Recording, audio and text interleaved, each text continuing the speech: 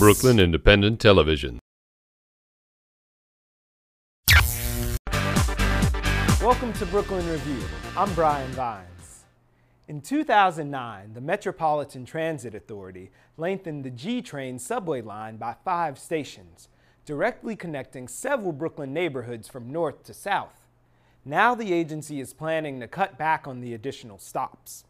Sherry Karabin has the details of how elected officials are enlisting public support to keep the G train from turning into the ghost train. It's good service, uh, G train.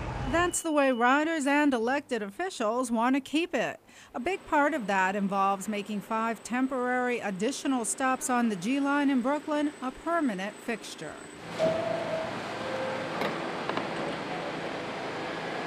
I actually appreciate it because it makes it a lot easier for me to get to the city. Because I'm further into Brooklyn, it's another alternative to the F train, which doesn't run as quite as um, well as it should. The additional stations were added by the Metropolitan Transportation Authority in 2009, directly connecting those in Park Slope, Windsor Terrace, and Kensington to central and northern Brooklyn. A perk of sorts that grew out of the disruptions caused by the rehabilitation of the Culver Viaduct, which goes over the Gowanus Canal. A byproduct of all the work they're doing on the line is that they couldn't use the express tracks here at 4th Avenue, which was where the G used to stop, not pick up passengers, just stop on the express track. They can't do that any longer, so they've had to move the, uh, the place to park it at Church Avenue.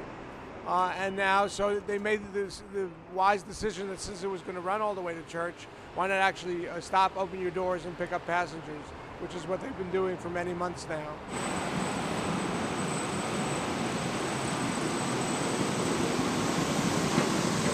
The problem is the changes are not permanent, and many believe that when the work on the Culver Viaduct is completed in late 2013 or early 2014, the extended stops will also come to a screeching halt. That's why transit activists like NYPIRG Strap Hangers campaign staff attorney Gene Russianoff are giving the thumbs up to the Five Stop Fan Club. The campaign was launched in mid March by New York City public advocate Bill de Blasio, along with elected officials. We're big fans of the five stops that the G train makes now uh, that it didn't make in the past. Uh, the line is much more useful for people going from uh, Carroll Gardens to Park Slope to Windsor Terrace to Kensington. And uh, we, uh, we want it to be permanent. It sounds as though your concern is that although these five stops are not on the chopping block right now, they could be in the future. When they finish this project, the worst thing to happen would be that it went back to the way it was. It's common sense to extend the G train a little bit to make it more useful and make the line serve more neighborhoods. If the changes don't become permanent, the G train will no longer extend to Church Avenue. One of the stations that would be lost is the 4th Avenue and 9th Street station, which this nearby salon manager says could mean fewer customers. I've seen a, a little difference in, in, in, the, in the flow of people coming around. If they go back to the way things were, that could possibly hurt your business? Possibly. Can't say for sure, but yeah, possibly could.